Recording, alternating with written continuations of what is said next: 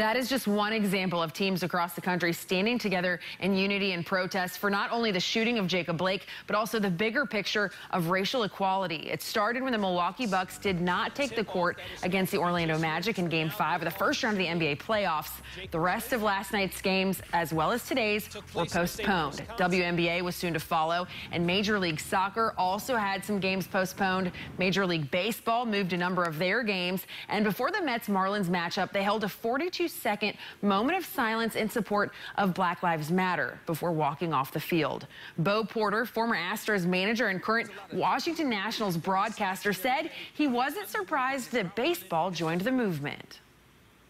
When we see something that's wrong and we set out to address it, it is intentional and deliberate of our efforts trying to address it.